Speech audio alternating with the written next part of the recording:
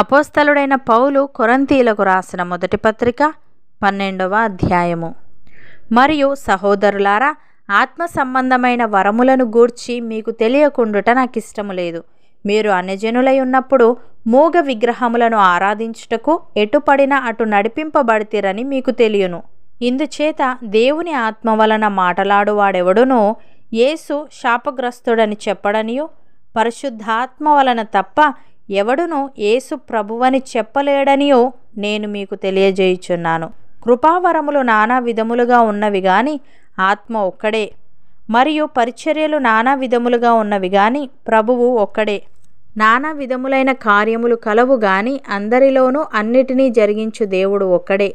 అయినను అందరి ప్రయోజనము కొరకు ప్రతివానికి ఆత్మ ప్రత్యక్షత అనుగ్రహింపబడుచున్నది. ఎలాగనగా ఒకనికి ఆత్మ మూలముగా బుద్ధివాక్యమును మరి ఒకనికి ఆ ఆత్మను అనుసరించిన జ్ఞానవాక్యమును మరి ఒకనికి ఆ ఆత్మ వలననే విశ్వాసమును మరి ఒకనికి ఆ ఒక్క ఆత్మ వలననే స్వస్థపరచు వరములను మరి ఒకనికి అద్భుత కార్యములను చేయు శక్తియు మరి ఒకనికి ప్రవచన వరమును మరి ఒకనికి ఆత్మల వివేచనయు మరి ఒకనికి నానావిధ భాషలను మరి ఒకనికి భాషల అర్థము చెప్పు శక్తియు అనుగ్రహింపబడి ఉన్నవి.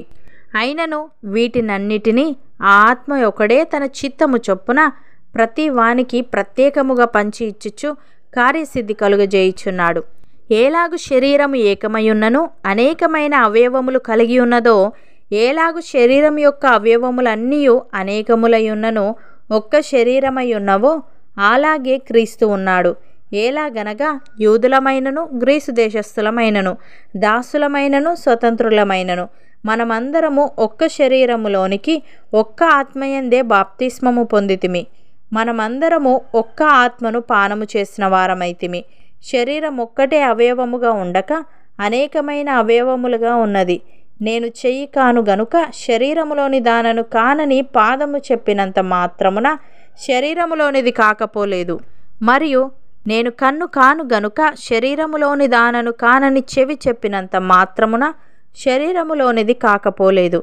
శరీరమంతయు కన్నైతే వినుట ఎక్కడా?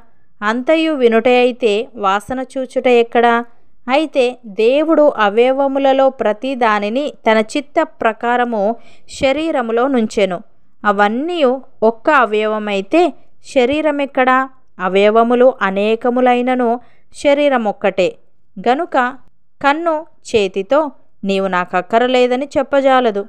తల పాదములతో మీరు నాకు అక్కరలేదని చెప్పజాలదు. అంతేకాదు శరీరం యొక్క అవయవములలో ఏవి మరి బలహీనములుగా కనబడునో అవి మరి అవశ్యములే. శరీరములో ఏ అవయవములు ఘనత లేనివని తలంతుమో ఆ అవయవములను మరి ఎక్కువగా గనపరుచుచున్నాము సుందరములు కాని మన అవయవములకు ఎక్కువైన సౌందర్యము కలుగును. సుందరములైన మన అవయవములకు ఎక్కువ సౌందర్యం అక్కరలేదు. అయితే శరీరములో వివాదము లేక అవయవములు ఒకదానినొకటి ఏకముగా పరామర్శించులాగున దేవుడు తక్కువ దానికే ఎక్కువ ఘనత కలుగజేసి శరీరమును అమర్చియున్నాడు. కాగా ఒక అవయవము శ్రమపడునప్పుడు అవయవములన్నీ దానితో కూడా శ్రమపడును ఒక అవయవము ఘనత పొందినప్పుడు అవయవములన్నీ దానితో కూడా సంతోషించును. అటువలే మీరు క్రీస్తు యొక్క శరీరమయుండి వేరువేరుగా అవయవములై ఉన్నారు.